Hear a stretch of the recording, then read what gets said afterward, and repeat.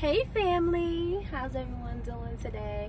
I'm Marchell Sade and I have a word for you today. The way to true joy and peace of mind is through God.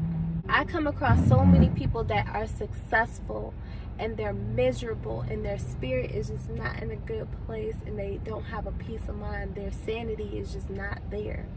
They have everything their heart desires but their mental health is just not there or their spirit is just not in a good place for them to truly enjoy that wealth and enjoy all the treasures of this world of life.